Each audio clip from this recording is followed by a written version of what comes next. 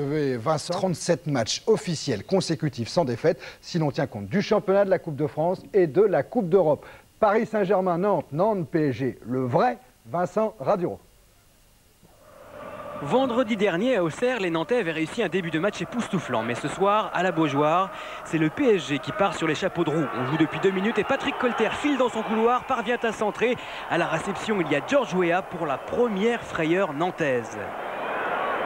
Il faut dire que la défense des Canaries est à nouveau remaniée. C'est Eddie Capron qui remplace Guyot en défense centrale aux côtés de Nourdine Naïbet.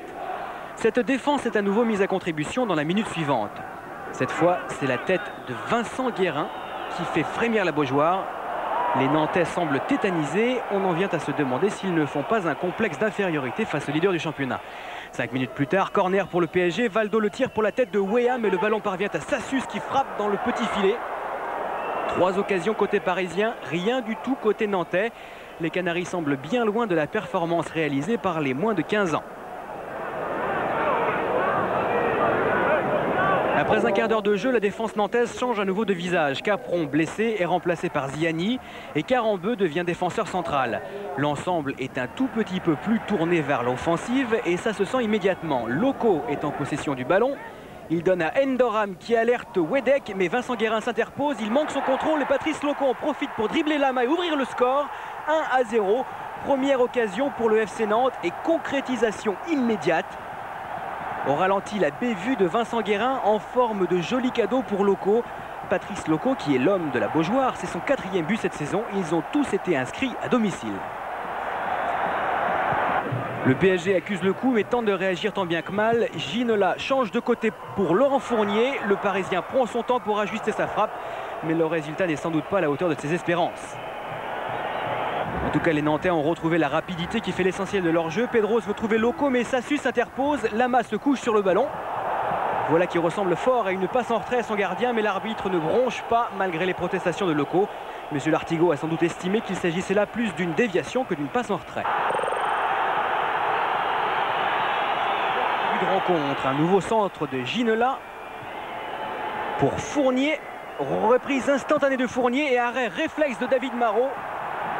Un fantastique coup de rein doublé d'un coup de poignet non moins admirable. Le ballon est stoppé sur la ligne de but.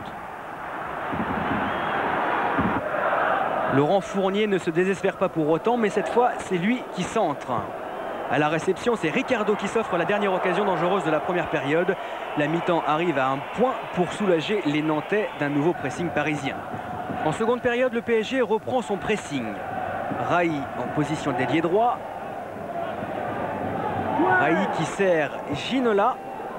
Mais Ginola ne trouve pas le cadre. Dommage pour Paris car maintenant c'est Nantes qui prend le jeu à son compte. Rapidement, les contres fusent. Celui-ci est mené par Endoram. Il aboutit à cette frappe de Nicolas Wedek à côté. La défense parisienne commence à donner des signes de faiblesse. Encore un nouveau contre, cette fois mené par Pedros et Wedek. À son tour, Pedros tente sa chance. Son tir est dévié par Colter, mais la main ne se laisse pas surprendre. Les Nantais sont maintenant déchaînés. Ils mènent au score, mais ils continuent de faire le jeu. Déviation de Loco pour Wedek, qui frappe de toutes ses forces. Lama ne peut pas contrôler complètement le ballon et Reynaldo Pedros vient terminer le travail. Un but du bout du pied. Le dynamisme et la fraîcheur des Nantais a complètement noyé le PSG. La belle série parisienne de 27 matchs sans défaite semble devoir s'arrêter à la Beaujoire. Il reste une vingtaine de minutes à jouer, mais Nantes ne veut pas s'arrêter en si bon chemin.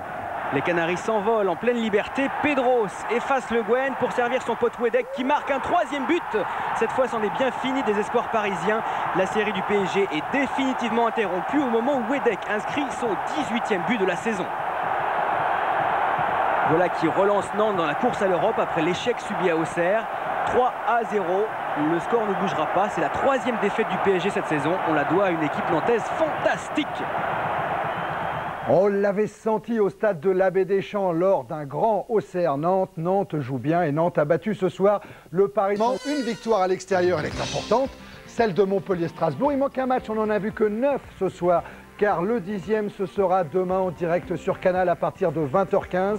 En direct de Geoffroy Guichard, le derby Saint-Étienne Lyon. Alors au classement, ça donne quoi?